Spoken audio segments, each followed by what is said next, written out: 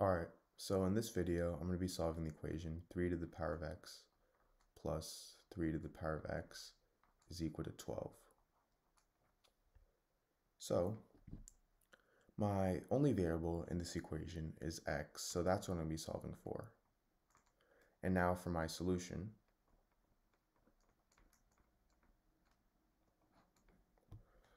So let me first rewrite my equation down here so I have a little more solving space.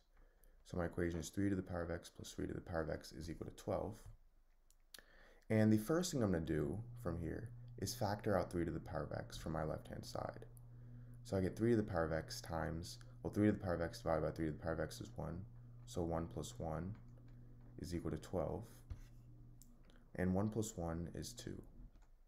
So I get 3 to the power of x times 2 is equal to 12. And now I can divide both sides by 2. So then these two cancel out. And I get 3 to the power of x is equal to 6. Now from here, what I'm going to do is take the log on both sides. So I get log 3 to the power of x is equal to log 6. And if I have something in the form log a to the power of b. I can move this exponent b to the front, so this turns into b times log a. In this case, I have log 3 to the power of x, so I can move x to the front. So this turns into x times log 3 is equal to log 6. Now from here, I can divide both sides by log 3.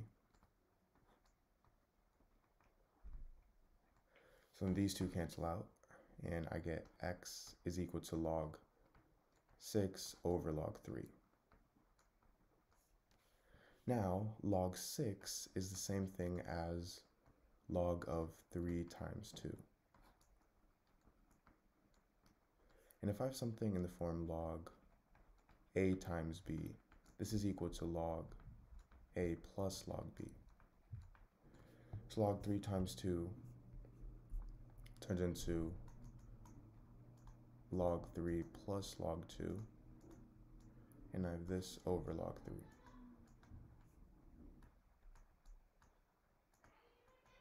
So now this turns into log 3 over log 3 plus log 2 over log 3. So these two cancel out and I get 1 plus log 2 over log 3. So this is my answer.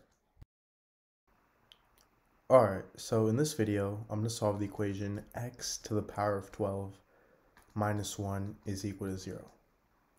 So to solve this, I'm going to first rewrite this as x to the power of 6 to the power of 2 minus 1 squared is equal to 0. And the reason I'm doing this is so I can use the property a squared minus b squared is equal to a plus b times a minus b.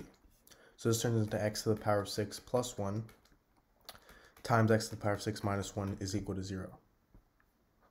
So this gives me two equations. I get x to the power of 6 plus 1 equals 0, and x to the power of 6 minus 1 equals 0.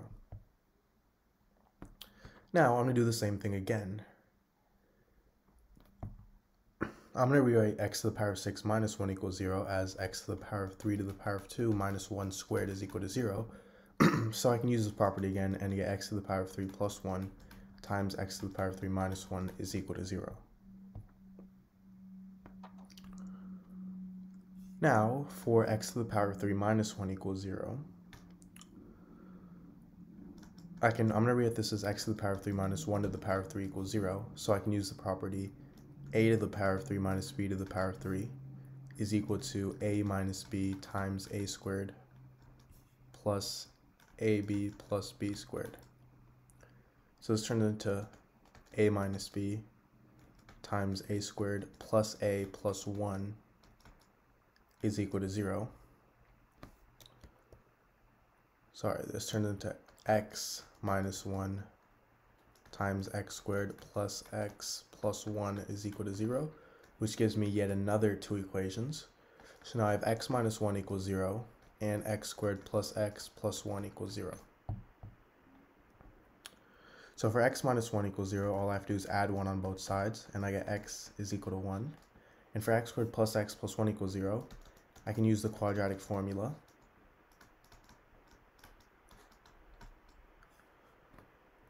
So, by using it, I get x is equal to negative 1 plus or minus the square root of 3i over 2. So these are two more solutions. And now we aren't done yet because we also have to solve these. So now I have x to the power of 3 plus 1 is equal to 0. And I'm going to subtract 1 on both sides, so I get x to the power of 3 is equal to negative 1, meaning x is also equal to negative 1. So this is another solution. Now for x to the power of 6 plus 1 equals 0, I'm going to again subtract 1 on both sides. So I get x to the power of 6 is equal to negative 1. And if I take the sixth root, I get x is equal to 6 root of negative 1. which is equal to negative 1 to the power of 1 over 6. So now, the sixth root of negative 1 is, say, the we know that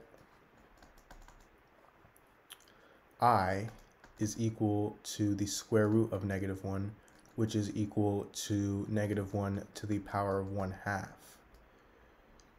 So, negative 1 to the power of 1 over 6 is the same thing as negative 1 to the power of 1 half minus something. So now 1 over 6, or I should say 1 half minus 1 over 6 is equal to 1 over 3.